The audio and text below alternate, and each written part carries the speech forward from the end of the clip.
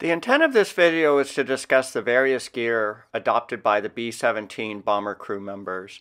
The B-17 bombers cruise at an altitude between 25 and 30,000 feet. Since the B-17 was unpressurized, uninsulated, and virtually unheated, the crew members were essentially on life support during these missions. To maintain life at high altitude, Crew members breathe in supplemental oxygen. Without this supplemental oxygen, a human will become unconscious in about 60 seconds and die in 20 minutes. The bomber co-pilots conducted crew oxygen comms checks every 15 minutes, starting at the tail and working their way forward. If a crew member failed to respond, assistance could be provided. Crew members were instructed to hook up to one of the plane's four oxygen systems at altitudes at above 10,000 feet or at night. Crew members wore oxygen masks like this later A14 on-demand model. The earlier generation inefficient continuous flow mask had a rebreather bag, like observed in the Memphis Belle documentary.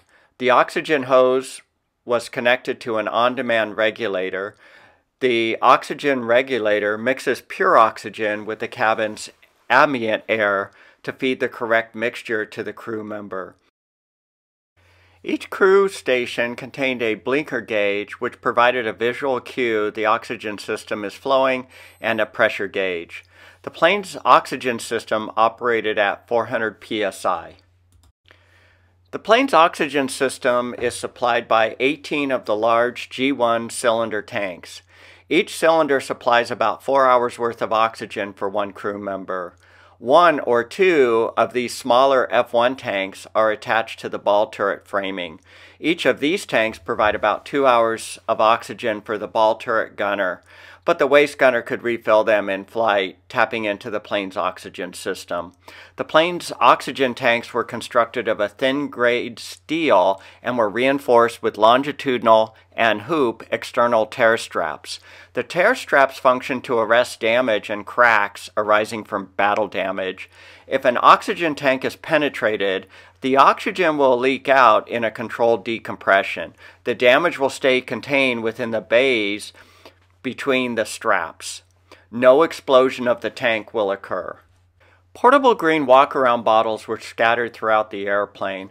If a crew member needed to move about the cabin, he plugged these, his oxygen hose into a walk-around bottle and then clipped the bottle to his flak vest or parachute harness.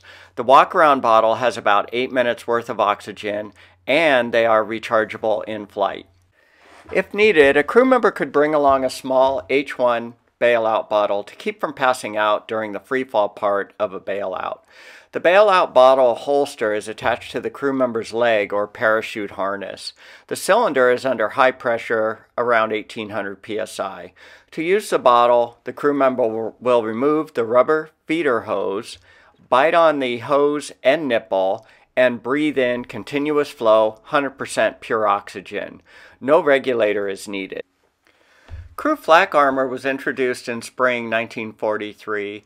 An 8th Air Force Army study found that 85% of crew wounds were from low velocity projectiles like ground artillery flak and 20 millimeter cannon splinters. Only 15% of bomber crew wounds were actually caused by interceptor machine gun bullets. The crew's body armor system was designed to stop these low velocity projectiles, not machine gun bullets. The crew's armor is capable of withstanding a 45 caliber pistol bullet fired from about 30 feet. The crew armor system was credited for a 60% reduction in wounds. Crew members wore head protection like this M3 flak helmet. The helmet was based off of the standard U.S. Army issue M1 helmet. The M3 helmet contained its own suspension system, armored ear flaps to cover under the helmet's leather headset, and was flocked with a felt material. The flocking was added to protect the crew member's skin if it came in contact with the helmet at cold temperatures. Touching the steel with bare skin at low temperatures is extremely dangerous. Your hand will just stick to the metal. The flak vest and apron garments were fabricated with hundreds of overlapping 2 inch by 2 inch 036 steel plate inserts. The armor inserts were sewn into the vest and apron giving the garment some degree of flexibility. The apron is attached to the vest. The whole flak garment system could be detached from the crew member by a quick downward pull of the quick release cord. The flak garment system was actually too cumbersome for a parachute to be worn underneath. The entire flak armored system, including the helmet, weighed 25 pounds, 7 ounces. Crew members were exposed to extreme cold temperatures at minus 40 to 50 degrees Fahrenheit. To combat this environment, crew members wore thick insulating layers, with the outer layers consisting of shearling fleece gloves, jackets, pants, and boots. The insulating layer was supplemented with a full body electric suit, glove, and booties. The crew member plugged his electric suit cord into one of the plane's rheostats. The rheostats were located at the crew stations and were part of the plane's 24 volt DC electrical power system. The rheostats incorporated a dial so the crew member can fine tune the seat's heat output. The early electrical suits were fabricated with brittle wiring and were notorious for shorting out and burning the crew members. To help combat the cold, some crew members wore silk scarves. Bomber gunners were always scanning the sky looking for those interceptors. Silk scarves help to minimize chafing by acting as a barrier between their skin and the jacket's shearling collar. Crew members communicated through a throat microphone and generally adopted integrated headset receivers with their A11 leather helmet. The throat microphone was connected to a push-to-talk switch hanging off a lanyard around his neck. The push-to-talk switch and headset receivers were connected to one of the 12 communication jack boxes throughout the B-17. Underneath the flak vest, you will find a life preserver and a parachute harness. Crew members kept their chest parachutes close by their stations.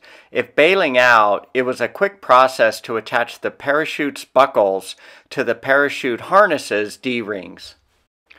Various types of goggles were adopted by bomber gunners. Goggle lens color was selected based on the type of environment expected. Dark green color works best in bright sunlight, amber in fog, and clear for nighttime flying. If you enjoyed this video, please consider subscribing to my channel, World War II U.S. Bombers.